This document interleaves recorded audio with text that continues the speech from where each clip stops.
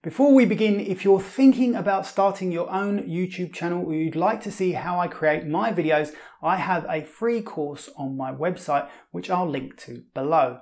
No gimmicks, it is completely free, so I recommend having a look at that.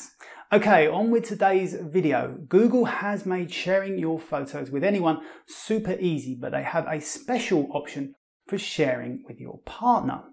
On your computer, simply open Google Photos in your browser. Click on Settings in the top right corner of the window and choose Partner Sharing. You can add your partner by typing their email address or if you already have them listed as a contact, you can simply click on their name like so. You then have the option to share your entire library or just certain folders and albums.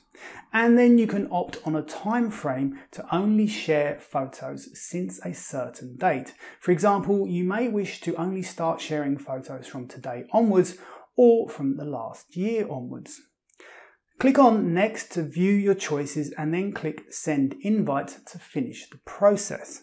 Your partner will receive an email with the link and accepting the invite will open your shared photos. Your partner then has the option to save a copy of your photos to their own library, which is a convenient way to ensure you have a backup of all your family's memories.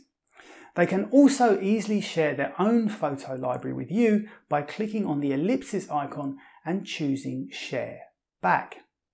They are prompted with the same choices and as before, clicking on Next and Send Invite completes the reverse sharing process. You can also set up partner sharing directly from the Google Photos app on your mobile phone. Click on your profile picture in the top left corner of the screen. Choose Photo Settings, scroll down and select Partner Sharing. You'll be run through the same process as we just went through on desktop. And as before, your partner will receive an invite, or if they already have the Google app installed, they can accept the invite directly in the app by clicking on the notification. Similarly, they will then have the option to share their own album with you. So that is how to set up partner sharing in Google Photos for desktop and mobile. If you found the video useful, I'd appreciate you giving me a like and hit subscribe for lots more quick, useful tips like this one. And don't forget to check out my free course by clicking on the link below.